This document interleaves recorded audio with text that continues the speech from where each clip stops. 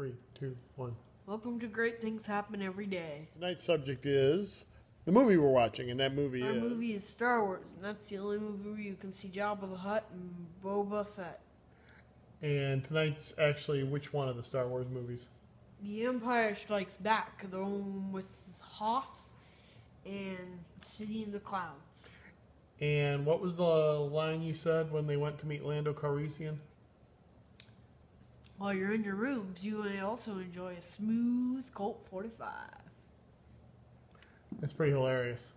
Yeah, pretty hilarious. I don't know if the microphone picked this up or not, but Bailey let out a huge fart while you were recording that.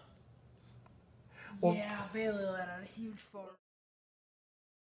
So whether you're a dog or a human, great things happen. Every day.